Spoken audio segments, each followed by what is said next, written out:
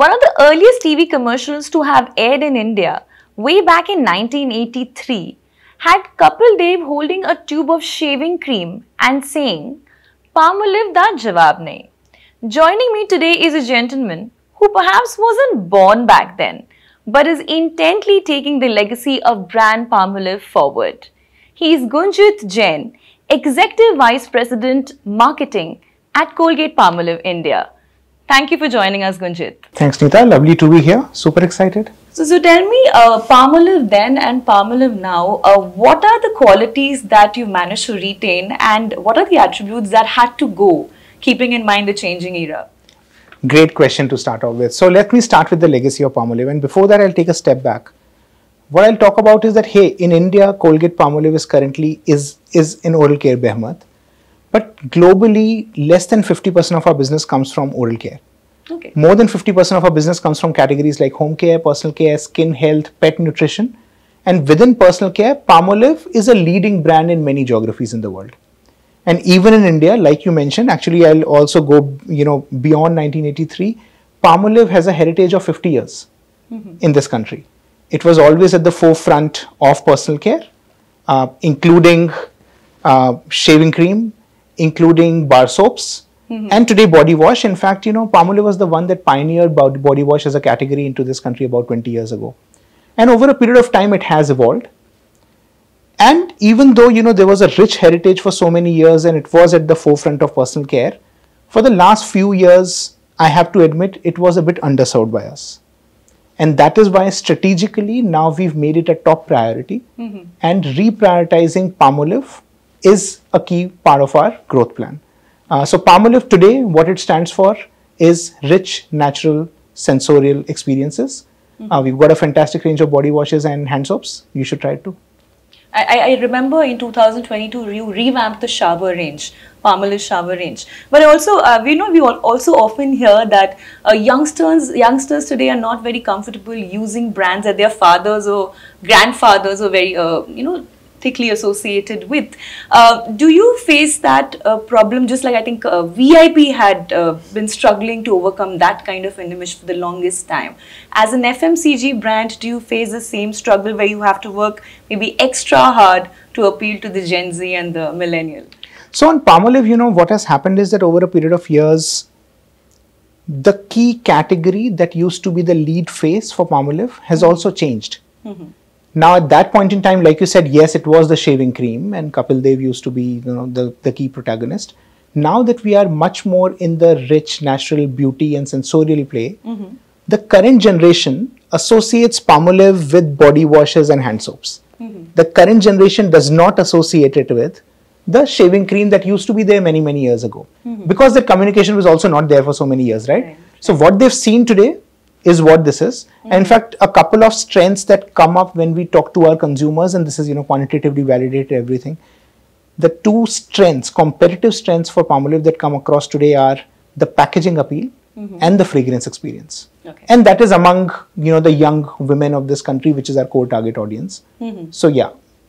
And did you also have a checklist while advertising this? You know, also while putting in ingredients in the product because a lot of youngsters don't like the parabens and the sulfates in in uh, hand washes or body washes or even shampoos for that matter. So was there a big checklist to appeal to these? So see what we what we do is that you know we define our target audience. Then we try to figure out that what matters to them more, what mm-hmm. matters to them less. Also then bring in the lens of what is the strategic fit that the brand has mm-hmm. along with you know what the consumer wants mm-hmm. and then offer superior product experiences superior communication which comes out of clarity of your positioning mm-hmm. and then you know you reach consumers in a way that also works for them so when we do that that as a mix is what we try to maximize uh, there the right sweet spot for the brand is mm-hmm. Rich natural fragrance experiences that our showers offer mm-hmm. and that's what we stand for and that's what we try to do better than anybody else a big chunk of the country uh, uses soaps and uh, body washes is considered a premium offering. Um, and yet, I know I see the price point. Uh, it's it's not very highly priced. Uh, the Palmolive range. So, what really is the target audience here? So, very good question. like you said, majority of the consumers in this country still use a bar soap. The penetration of body washes in the country is only about two to three percent. Even in urban India, it's not more than you know low single digit percentages. Mm-hmm. So there's a huge headroom headroom for growth. And why I say that there's a huge headroom for growth because the movement's already started. Okay. The category is growing at a very very fast pace. Even though some of these consumers may not have purchased a body wash yet, mm-hmm. a lot of them travel all across the country, stay in hotels, and what you get in a hotel Is it? Is a body wash. yeah. So, trial is getting generated for the category. There is interest which is getting generated. Mm-hmm. Once people use it, they realize a few things about the category as well. Number one, it's softer, gentler on your skin. Number two, it's obviously much more hygienic because it is not being shared by a lot of Yeah. people. You pour the drop onto your hands. And number three, that the fragrance experience can be significantly superior as well. So there's a lot that's going to be working for the category. Mm-hmm. It's early days, headroom for growth. You, you recently came up with a campaign uh, for Palmolive, very interesting one where the bathtub was flying.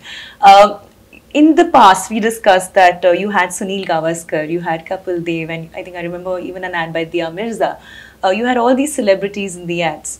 Why, when you decided to come back with a big campaign for Palmolive, uh, why did you not pick a celebrity to do it? So interesting question. This comes our way quite often actually. So see, the strategy is not to use or not use celebrities. The strategy is to express what your brand stands for and what the communication objective is in the best possible way. Mm-hmm. Now, a celebrity may fit that brief, it may not fit that brief. In this case, we felt that it didn't necessarily have to fit the brief. So we didn't use a celebrity. If, if I were to ask you, what is your earliest memory of Palmolive? My earliest memory of Palmolive is the Palmolive bar soaps mm-hmm. that used to be there, Okay. uh, followed by the body wash uh, because I've been using the body washes for the past 15 years. Uh, and like you said, 1983, I wasn't born. So, yeah. Uh, Gunja, tell us about Slow Down and Savor the Feeling, the new campaign that you've launched for Palmolive, and how are you creating uh, the buzz around the big brand now? oh, that's something that I'm truly excited about. I'm truly excited about it simply because it's the first time we've got a national campaign on Palmolive body wash uh, out there. So, let me first talk about you know the consumer that we are talking to. The core prime prospect consumer for Palmolive body washes are the young aspiring women in urban India. Many of them are working. Uh, so and and they are ones who are who are ambitious, who want to accomplish a lot. They are doing a lot of things. They are rushing through stuff, and it's a choice. It's not out of compulsion. They are rushing through stuff. But then the insight is when I'm rushing through life, I'm not truly experiencing it. And that's where Palmolive as a brand comes in because Palmolive as a brand gives them the moment to slow down mm-hmm. and savor it, which happens with the Palmolive body wash shower gel experiences. So that's the role that the brand plays, and that's where the campaign of you know savor the feeling comes from. Mm-hmm. Uh, the the exciting part about the campaign is that we are trying to get consumers to savor that feeling and have that experience themselves mm-hmm. which is when you see digital content you see your favorite influencers also experiencing it. Then in the morning when you are hitting the gym and you get to the shower cubicle there you realize that the shower cubicle has been transformed into a palmolive experience zone where you can experience the product. It's been decked up like that. Then when you are on your way to work whether it's a bus shelter or whether it's the mumbai metro some compartments there or some of the shelters there have also been transformed into experience zones so they've got fragrance they are decked up the, the right rich natural palmolive way when you enter the office building, the frisking booths may have been converted into Palmolive uh, experience zones. So you can truly experience all of that. And once you are convinced, if you are in a supermarket, you will experience the Palmolive zones there as well because they'll be decked up there as well in over about 100 stores all across the country, mounted outlets. So bringing that experience and the idea to the real world is what we are trying to do uh, with the target audience that we have. And also, if you were to talk about your marketing uh, mix, uh, which medium would get the bulk of your spends in this case?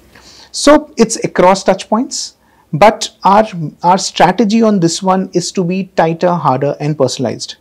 What that means is that we can go sharp to our target audience, go with the frequency which is relatively higher, and then be as personalized as we can be.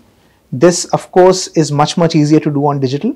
So we've got a bulk of our communication happening on digital uh, media. But at the same time, the other touch points that I mentioned, uh, we can do that as well. Uh, and, and it's a mix of all, but yeah, digital media gets a lot of attention.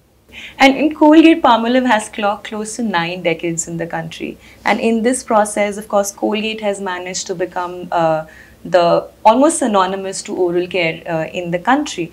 But Palmolive is still taking steady strides to establish itself. And right now, you're facing humongous competition, uh, established players like HUL, ITC, Fiama, Nivea, and even homegrown brands for some to some extent like Plum. How difficult is it going to be for you to get that market authority there? So, see, one can often get obsessed with competition, Mm-hmm. But I've always believed, and everybody I respect in the marketing world also believes that you know one has to be obsessed with the consumer. Mm-hmm. So that is going to be our approach. We have to be obsessed about what the consumer needs and what the brand strategy is. Palmolive has three solid advantages. First, because of the heritage of so many years, it's got a lot of residual urban awareness. Second, like I said, our shower gels and our hand soaps have competitive superiority on packaging appeal and fragrance experience. Third, since it's such a huge business for us globally, we've got global expertise on the consumer and the category. So, not only can we continue to provide consumers the superior product experiences that we are providing today, we can keep upping that game because we've got a lot of knowledge Okay. on this one. So, we will stay true to what the consumer needs and what we are going to deliver, and that is our goalpost, not getting distracted by what the others do. Okay. And, and last year was a great year for Colgate uh, Palmolive, more than 25% profit. Uh, I want to understand how much of uh, advertising has played a role in upping the brand appeal in the country for, for Yeah. overall for Colgate So see, Palmolive. India is a huge country, and businesses tend to, you know, businesses like ours in a category like oral care, which is penetrated almost hundred percent, right? Every household has a toothpaste at home. There are many levers that will drive the business, and advertising or superior communication absolutely has to be one of them. Mm-hmm. Especially because we've got so many traditional trade stores, it's not a discovery environment. People need to come and ask for mm-hmm. Colgate ka ye wala toothpaste dena mm-hmm. right? That's what is absolutely critical. So advertising does play a role. How has advertising played a role? Till about a few years ago you know not all of our communication was superior communication.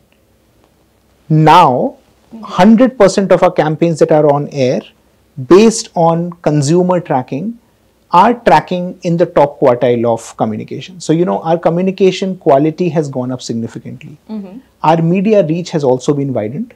And as a result of all of this we are generating much more demand.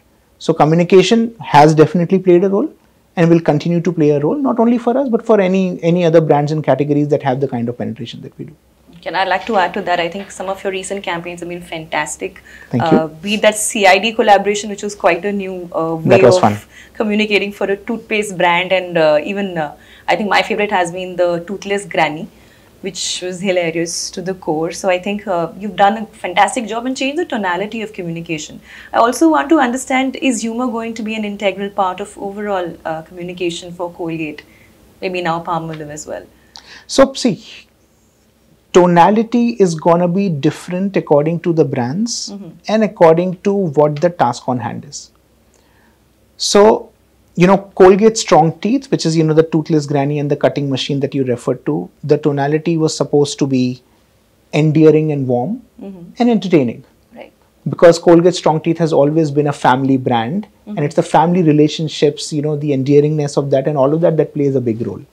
On the other hand, you've got a Colgate Max Fresh, which is fun. Mm-hmm. So the tonality there is fun. We've recently come up with a campaign on Colgate Total. There, the tonality is that of expertise and science. Okay. And Palmolive is sensorial, right? So it will depend upon what the brand and the task on hand is, and it will differ. But what is not going to change is a couple of things. Each and every piece of communication that we come up with needs to be engaging because if people don't take notice, nothing else matters. Second, it needs to be persuasive enough mm-hmm. for people to take some action based on that. And you know, since the revamp of the products, uh, what kind of growth have you seen uh, for brand Palmolive in the last year? So brand Palmolive as of now is, uh, is that you know the shower gel business is at double digit growth. Uh, the good news also is that you know it is competitive uh, uh, growth, which means that you know we've been growing share over the last few quarters as well. Mm-hmm. So we are on the right track. Mm-hmm. But like I said, the category penetration still has a lot of headroom for growth. So we have to continue to outpace that category growth uh, and keep winning. Yeah. And, and what is the market share right now that it enjoys? So something that we don't share um, generally, but you know, uh, there are five big players uh, currently. It's a relatively much more fragmented market as compared to toothpaste. For example, we are in the top five, uh, and our goal would be to continue to climb and outpace the category. And most importantly, you know, give consumers what they need uh, that's the goalpost. Do, do you have a, um, you know an agenda a date when you will be in the top three or maybe the top one? Yeah, so see, every brand is going to have that. You know, there's always a five-year strat plan, there's a three-year strat plan, there's a budget planning that we do every year. So you know, all of those are always there. Mm-hmm. Uh, but what I also you know like to tell my team all the time is that there are milestones, but to get to milestones, you need to accomplish the in stones. Hmm. Right, every small step done well matters uh, so we focus on all of those. If you know you're moving every inch in the right direction, the miles will happen.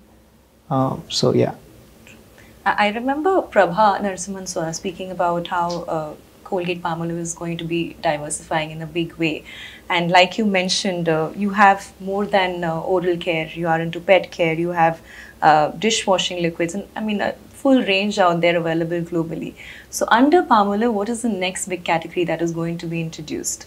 Yeah, so again, I'll take a step back. You know, not just Palmolive, but overall, uh, you know, like you mentioned, diversification beyond oral care is a stated strategy. Mm-hmm. So it's out there in the public, and we've gone out there and said it. And we've got expertise on multiple categories all across the globe as well. India at the same time is also doing very, very well as a country. Mm-hmm. We are progressing on multiple fronts, and this will continue for, for many, many years. So it's the right time to diversify for us. As we diversify, there are loads of opportunities, palm Palmolive, non-Palmolive, other categories, all of those that we keep looking at. And everything is going to be assessed on three measures. Mm-hmm. First, what's the readiness of the market in India today? Mm-hmm. Second, what's our global expertise, understanding of the consumer, of the technology, of the category, so on and so forth. And finally, as a combination of all of this, when we put it all together, will we have the ability to win? Okay. So that's basically the assessment metrics. We are looking at a lot of things, uh, and we'll, I'm sure, chat soon when we have something.